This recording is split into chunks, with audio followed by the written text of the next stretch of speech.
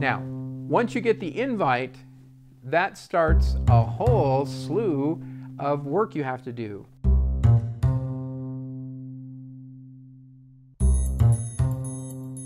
There are tasks that they will send you, heavily in medical, especially for me because I'm older and they've probably asked a few extra things of me. You send in fingerprint cards, statements saying they can do a background check on you. You have to put in for a government passport and send them some pictures.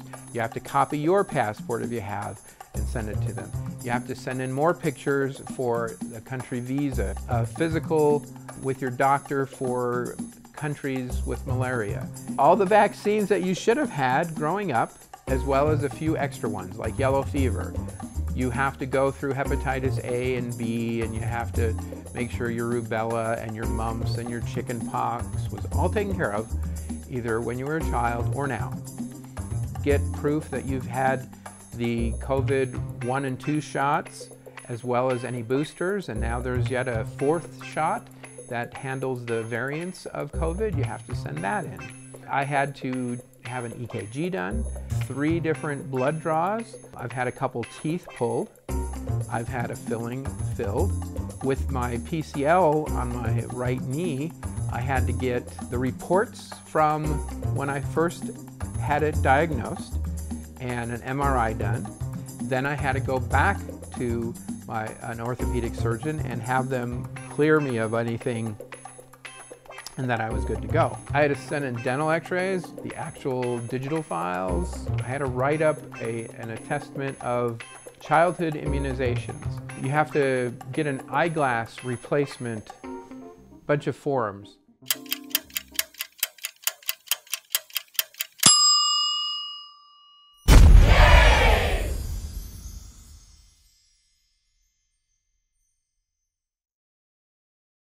So Shakespeare may have been the first one to say this or have this concept. And that's the idea of putting the horse before the cart. Or is it the cart before the horse? The cart before the horse. when is the horse actually in front of the cart? Is it attached? And is it ready to go? This whole process of giving them the information they need so that you can go um, you're always wondering if something could fall through the cracks and they will just reject you.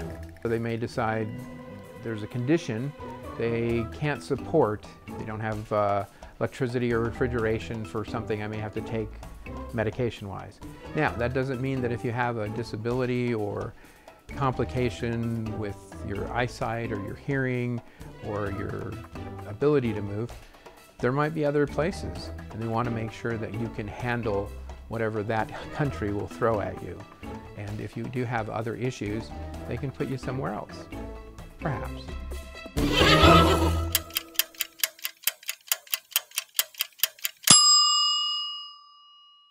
We are off to the doctor's office to get another blood test.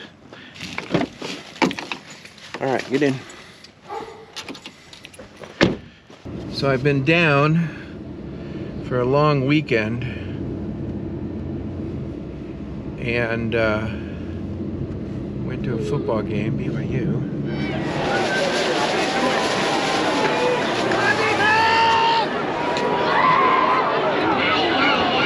They won, but no, we're, uh, it's Monday morning. Oh, I think Copper wants the window open. I'm to try and also hit the dentist's office and talk to the dentist about what they want.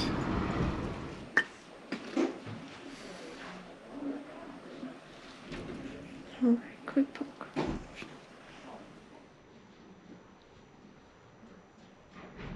That wasn't so bad. Hopefully the results come back better than the first time or consistent with the first time. So we're at the dentist, but we're gotta let Copper go to the bathroom while she can. All right, now we're gonna have to come back and clean that up. Their dentist wants me to take out two more teeth or something, Oh. which doesn't make any sense. I just don't think they read the the email that said, all the treatment was done. There's a million things that could keep me from going on this thing, right? Oh. Especially when you're older. And the last thing I want is for them to say, "Oh no, no, you can't go because you have bad teeth." And it's like, "No, I don't." I, I, and I have so few left. we don't need to pull any more, please. It's please. so it's so subjective because if they're gonna call this like has to be treated, then like they'd see these little shadows on the amalgams and say those have to all be treated. Like, and I just don't Yeah. feel like it's necessary. Yeah. But at the same time, if there was a tooth there that they said that I should pull, I'll, I'll have it pulled just so I can go. just so you can go. All right. Well, that should do that at the dentist. And uh, let's go pick up Copper's doo doo. I am so happy we don't have to have more teeth pulled. but like I told them, absolutely take them all if that's what it means to go. How you doing? Yeah, I love you too. if I get to go to Madagascar and have this great adventure and learn this language and serve these people, what a great win that is. Now, if I don't get it, that's also a win because I won't have to go to a difficult place with uh, no electricity, no running water, have to learn a new language and live in a, a third world country. Either way, it's a win-win situation it's a good way of, of, of keeping your your your perspective.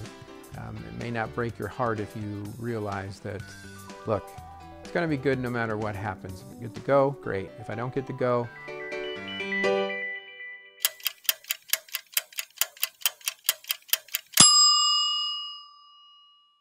So I'm just about ready to go on line for a new Zoom meeting. Welcome everyone to this call. The team in Madagascar is very excited to meet you as you're just about to hear. And this is the first opportunity that they have to start getting to know you. They will also use it to match you with your sites. So I'm Brett Coleman. I've been the country director here in Madagascar for a little over three years. Um, I really can't begin to tell you how excited we are at the prospect of your arriving and helping us to rebuild our operations of Peace Corps Madagascar. As I'm sure you know, uh, Peace, the Peace Corps evacuated all Peace Corps volunteers worldwide in March 2020. I have another photo to show some of the healthcare will be the reality. And it's very less, um, the equipment is really uh, less and low. Here is some um, community health center, but this is um, compared to the previous photo. This is uh, in the big town. Regional hospital, which is one of the reg- regional hospital in the, the southeast. On the left uh, side of the photo, we have the emergency room. As you can see, the equipment inside is really basic. And uh, we have ambulance. Sometimes they work, sometimes they, they doesn't work. They didn't work. most of you will be the only American that your community members know. So the reputation of the Peace Corps and even of the United States will depend a lot on what you do and how you behave. Uh, I mentioned in my opening remarks that Peace Corps is beloved in Madagascar, and that is because of the good work and the good behavior demonstrated by Peace Corps volunteers who've come before you.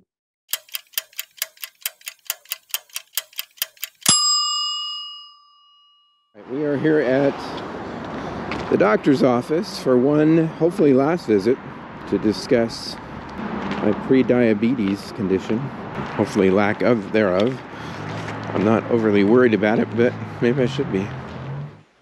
And I, I just don't want them to say, oh, you're, you got a condition that we can't support. sometimes with those labs when they're slightly out of the range of normal it can just represent that that that's that's normal for this person because Right. a lab derives its normal range based on it's a statistic distribution of, of all the patients that they're getting the blood tests on Generally speaking, with all the records and everything you have of mine, I'm good to go for the most part, right? i don't see anything that just says to me oh yeah you don't want to send this guy overseas with Right. problem x or Right. whatever.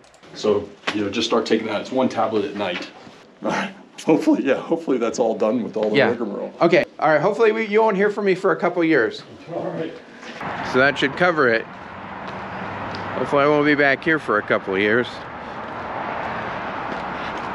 Yeah, good luck with that one.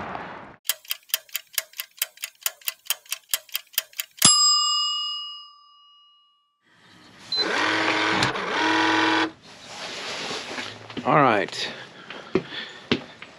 We are off to get a, another blood test.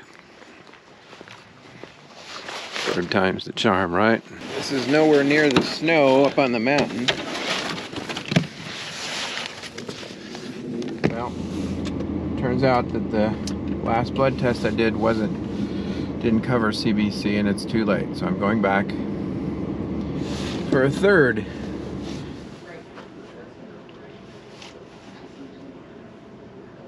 It actually isn't so bad. I mean, it's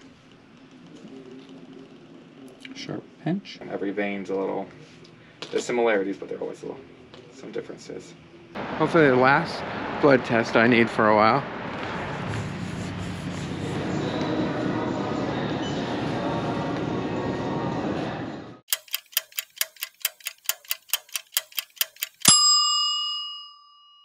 So on on this X-ray here, this this cavity is real small. Mm-hmm.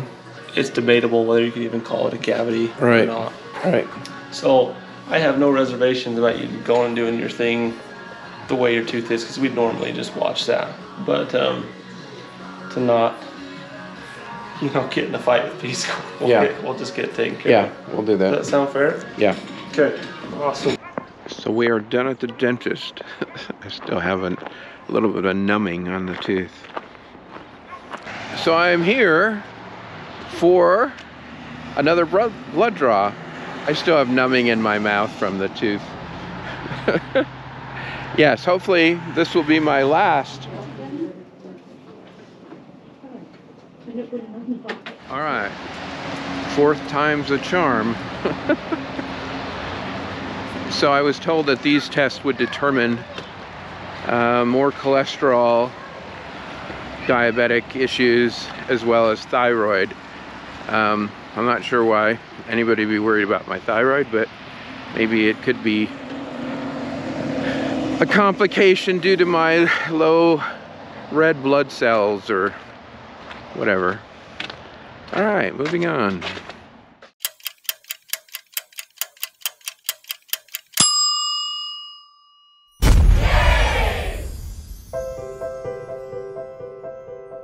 I don't really care about uh, social media or I'm not trying to get likes or, um, you know, show people what an amazing life I have.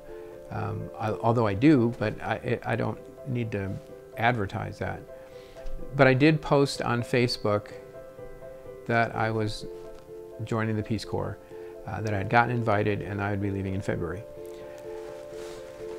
And what will happen is that people will just think you're a wonderful person for signing up for the Peace Corps. You'll get all of this um, um, appreciation and people saying nice things about you, but the bottom line is you haven't done anything yet.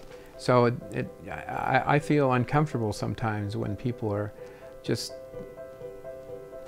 you know, think you're a good person.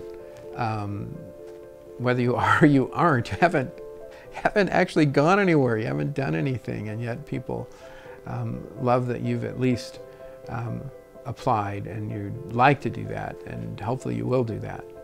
It's it's a great way to get, you know, boost your ego without doing anything.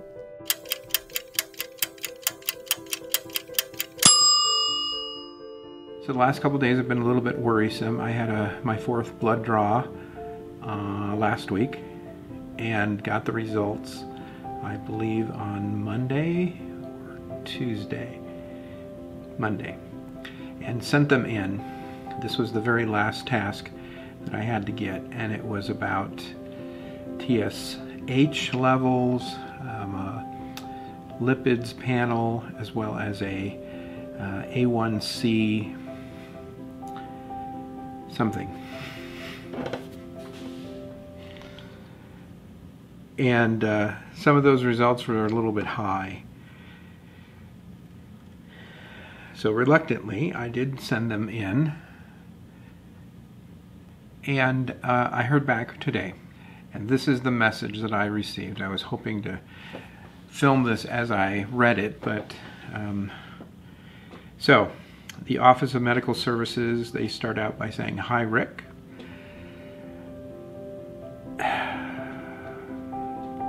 This is just to let you know that the advisors gave the green light for your clearance.